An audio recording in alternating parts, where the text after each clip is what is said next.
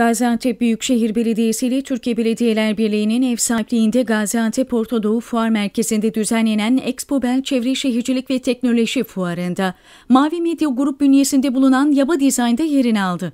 Katılımcılar tarafından yoğun ilgiyle karşılanan Yaba Design standında üretilen kent mobilyaları, aksesuarları, otobüs, metrobüs, durak ve istasyonları büyük beğeni aldı.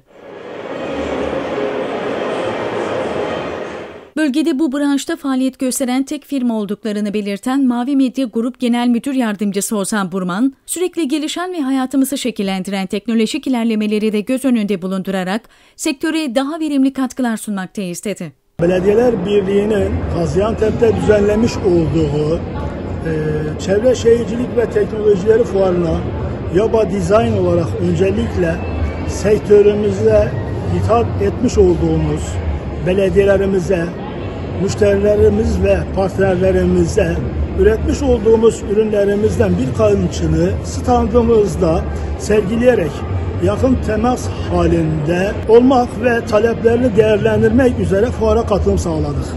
Genel Müdür Yardımcısı Burman, faaliyet alanlarının daha çok kent mobilyaları diye bilinen, özellikle açık hava reklamcılığında kullanılan billboard, celefe raket, admi, pano, megaboard, outdoor led, megalight, kule, board ve her türlü ışıklı ve ışıksız yön tabelaları olduğunu belirterek her türlü açık hava materyallerini de ürettiklerini belirtti.